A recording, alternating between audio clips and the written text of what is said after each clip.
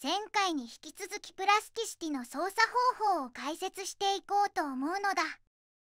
基本の視点移動はホイールボタンドラッグ缶は右ボタンドラッグなのだ。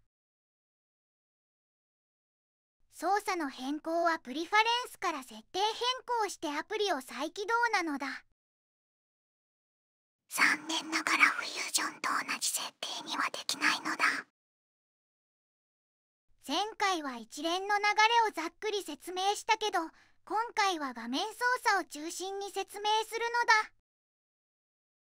まずは右上の4つのアイコンこれで画面の見え方を変更するのだ。左端のボタンで平行投影と投資投影を切り替えるのだ。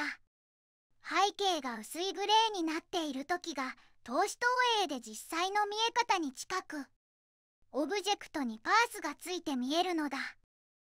右クリックでレンズのミリ数を変更してパースのかかり方を調整できるのだ。数字が小さいほど画角が広くてパースが強く。数字が大きいほどパースが少なくなるのだ。モデリング中はオフにしておく方がやりやすいのだ。2つ目のボタンは基準平面と座標の表示切り替えなのだ。スクショを撮るときとかは非表示にするとすっきりするのだ。3つ目は X レイモードオブジェクトの向こう側を透けさせるかを切り替えるのだ。ちょっと分かりにくいけど円筒の向こう側エッジが見え隠れしているのだ。最後はレンダーモードオンにするとマテリアル設定が反映されるのだ。右クリックでメニューが開きオフ時の見え方を指定できるのだ。赤はスクショ撮るときに簡単に見せたいときしましまは表面の連続性を見るときに使うのだ。下段はエッジや面の表示を切り替えられるのだ。いろいろあるけどモデリング時は左上のグレーが使いやすいと思うのだ。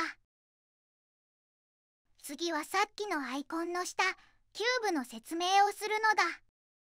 基本的にはどの CAD も一緒だと思うけど面や XYZ の文字をクリックするとその向きからの表示に変わりグリッドも同じ方向に表示されるのだ。点キーの137でも同じことができるのだ。点キーの5は投資投影の切り替えなのだ。コントロールキーを押しながら1 3 7を押すと逆から表示するのだ。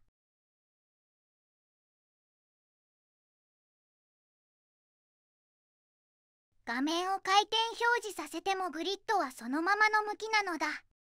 画面右端中央の XY YG XG を押すと視点はそのままにグリッドの向きを変更できるのだ。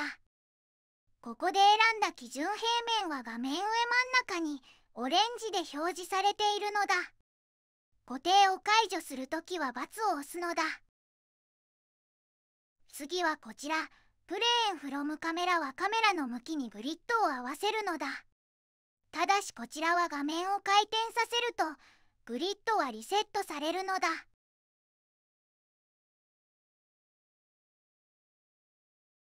プレーンフロムセレクションは選択した面を基準にグリッドを表示してくれるのだ。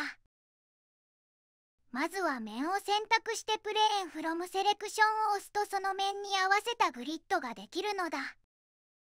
この状態なら選んだ平面に合わせてカーブを描いたりオブジェクトを移動させたりできて便利なのだ。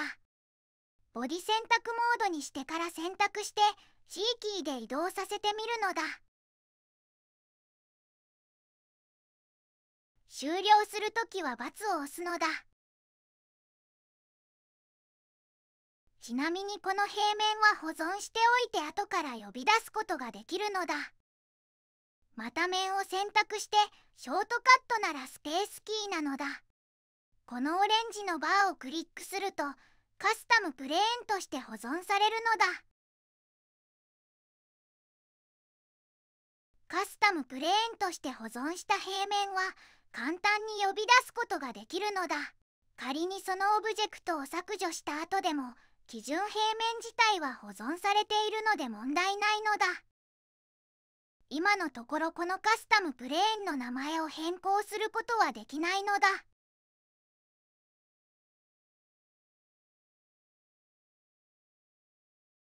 不要になったら選択して X かデリートキーを押せば消えるのだ。元に戻すときは画面上の×を押すのだ。次は選択モードの説明をするのだ。左から点選択線選択面選択ボディ選択なのだ。ショートカットはキーボード上の数字キー1から4に対応しているのだ。プラスティシティにはフュージョンのようなスケッチモードはなくこの選択モードの切り替えで操作するのだ。ソリッドに押し出しするときはカーブから面選択モードで面を選択してから押し出しをするのだ。面選択で出てきた線をドラッグするとオフセット。線選択だとベベルができるのだ。点選択はカーブの点を選択できるのだ。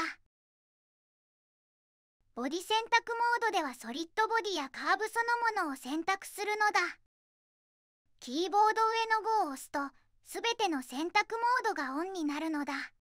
その代わりちょっと癖があっていきなり面や線は選択できないのだ。一旦ボディを選択してそれからそのボディの線や面を選択するのだ。2段階で選択するのは面倒なのでこのモードはあまり使わないのだ。次はドラッグでの区形選択を説明するのだ。区形選択は2種類あって左から右へ選択するのと右から左へ選択するので挙動が違うのだ。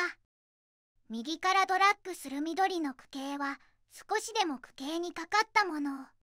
オレンジの区形で表示される左からは囲ったものが全て区形の中に入るものを。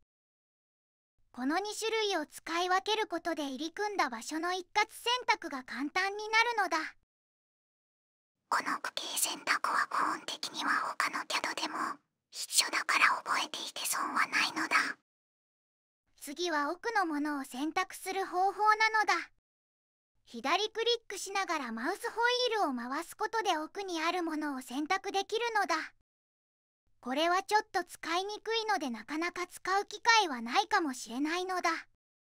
ついでにカーブからの押し出しを説明するのだ。面選択して押し出した場合はソリッドボディになるのだ。ソリッドは中身の詰まった塊なのだ。線を選択して押し出した場合は面になるので注意なのだ。蓋がないので向こうが見えるのだ。シートを削除するときは左側のリストから削除するか線選択で削除するのだ。シートは面選択では削除できないので注意なのだ。線選択に切り替えて削除してみるのだ。選択して X キーで削除できるのだ。ソリッドボディを削除するときはボディ選択を使うのだ。削除は X キーでもデリートキーでも大丈夫なのだ。面選択では X キーを押しても削除できないけどシフト X を押すとボディから面だけ削除してソリッドからシートに変わるのだ。この辺り柔軟にソリッドとシートを行き来できるので面白いのだ。シートのままだと厚みがなくて 3D プリントはできないのだ。面を貼り直してボディに戻したい時はパッチ機能を使うのが簡単なのだ。あとは線から面を貼っていったりして全ての面がきっちり閉じられたらソリッドになるのだ。こんなところで今回の動画は終わるのだ。高評価チャンネル登録よろしくなのだ。